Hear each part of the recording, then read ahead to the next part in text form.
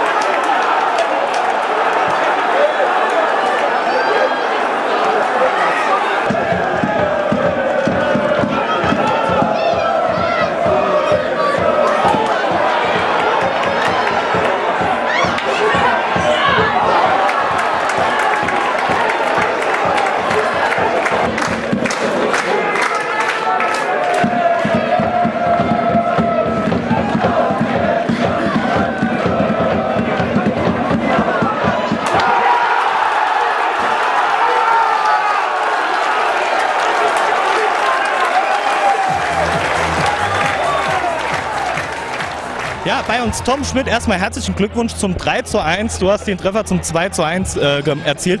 Erklär doch mal die Situation, das hat man von außen nicht so gesehen. Ja, der Ball kam rein und ich habe mich ein bisschen nach hinten abgesetzt, sehe dann, dass er abgefälscht wird, er landet vor meinen Füßen, ich stoppe ihn kurz und sehe dann, dass ich nicht viel Zeit habe und dann haue ich ihn einfach mit der Picke rein. Also auf gut Glück, dass er da so reingeht, ist natürlich umso besser für mich und vor allem für die Mannschaft. Und ja, so ist es passiert. Äh, wir haben uns eigentlich relativ lange schwer getan und konnten auch unsere Möglichkeiten nicht umsetzen. War das Spiel so, wie du es erwartet hast? Ja, definitiv. Also äh, Trier ist ja auch abgestiegen, haben auch eine gute Mannschaft äh, auf den Platz gebracht und äh, haben auch noch ein paar Jungs be äh, behalten aus der Regionalliga. Das merkt man natürlich. Da ist äh, schon Qualität in der Mannschaft und dadurch war es das erwartet schwere Spiel. Aber ich denke, wir haben gut dagegen gehalten und man merkt einfach, dass bei uns eine Mannschaft auf dem Platz steht, die das richtig gut macht und die sich auch einfach gut versteht wir sind eine Einheit und ich denke, das hat uns heute zum Sieg verholfen. Noch ein Wort äh, auch zur Kulisse, weil es in der Oberliga einfach auch nicht normal ist. Wie viel Spaß hat das heute gemacht? Ja, heute war ein äh, super geiles Spiel, das muss man einfach so sagen. Flutlichtspiel, freitagsabends äh, vor über 2000 Zuschauern. Die Fans haben heute äh, uns super angefeuert, haben eine super Stimmung gemacht und das treibt einen dann natürlich auch nochmal nach vorne. Da will man äh, für die Fans dann natürlich auch den Sieg holen. Und ja, es hat einfach Spaß gemacht heute. Ja, Jürgen, herzlichen Glückwunsch. 3 zu 1 gegen Trier. Wie hoch ist dein Puls? Ja, jetzt ist er schon wieder runter, aber im Spiel war natürlich schon einiges los. Ja. War, war ein super intensives Spiel, ja. aber ein richtig tolles Fußballspiel von beiden Seiten auch. Und äh, ja, wenn es dann so ein Ergebnis hat, so einen Ausgang, freuen wir uns natürlich riesig. In der ersten Halbzeit waren wir, denke ich, über 55, äh, 45 Minuten schon stärker. In der zweiten Halbzeit hatten wir so einen kleinen Durchhänger. Hat uns da Trier überrascht? Nein, überrascht nicht. Wir können ja die, das 2-0 machen, haben die Riesenchance. Und dann äh, es war, nach dem 2-0 ist Trier nochmal wach geworden, sage ich. Ja, dann hatten sie wirklich gute 10, 15 Minuten, ah, wo sie dann auch den Ausgleich machen und wir ah, ein bisschen zum Überlegen kamen. Aber dann hat sich die Mannschaft wieder gefangen und dann äh, ja, mit der Willensleistung, denke ich mal, noch den Sieg geholt. Du musstest, ähm, kurz vor dem Spiel musstest du wechseln, hast auch den Torschützen reingebracht. Äh, Patrick Lienhardt ist kurzfristig ausgefallen. Weißt du schon, was er hat? Das sieht nach einer Zerrung aus, aber er muss jetzt morgen noch genauer untersucht werden. Ja, aber er konnte einfach nicht mal spielen. Mehr. Gleiches Spiel war bei Tom Schmidt bei der, seinem Treffer zum 2 zu 1. Gibt es da schon eine Diagnose? Nein, aber beim Tom ist, glaube ich, alles in Ordnung.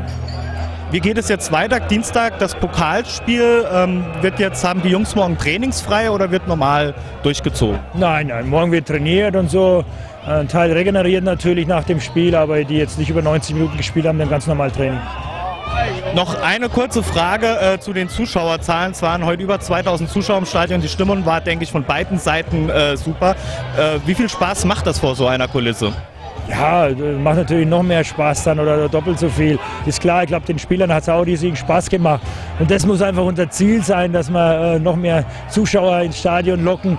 Und äh, dann ist es, glaube ich, für die Zuschauer ein schönes Spiel und für die Spieler auch und für uns.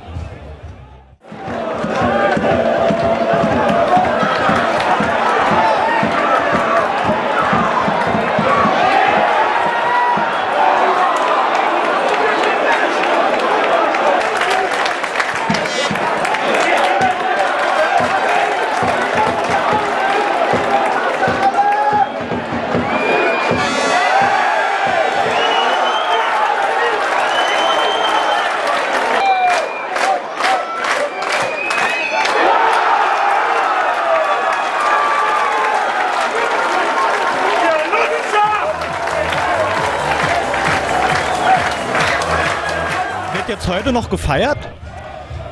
Äh, wegen was? Äh, wir haben, ja, wir haben am Dienstag wieder oder Mittwoch wieder ein, ein Saarland-Pokalspiel. Wir haben jetzt das 14. Spiel hintereinander gewonnen. Zum Feiern ist es zu früh. Ja, wir müssen da dranbleiben, genauso engagiert äh, weiterspielen, wie wir es bisher gemacht haben. Und dann können wir vielleicht irgendwann feiern.